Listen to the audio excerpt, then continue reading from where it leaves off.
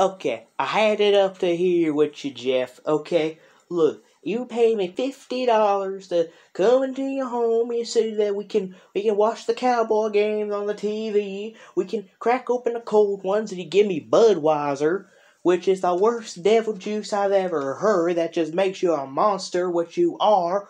Also, why is it so dark in here? It's kind of creepy. And why does it smell like a dead raccoon? I've had it up to here with you. I had up here. Now, you know what I'm gonna do? If you keep aiming that knife at me one more time, I will use my Second Amendment right, boy. Now, if you excuse me, I'm gonna go do what any country folk would do and go take something from your fridge, okay? Gonna make myself a hamburger. Yeah, a head of lettuce and some buns. You got a human head and some human buns. What the? What? What the?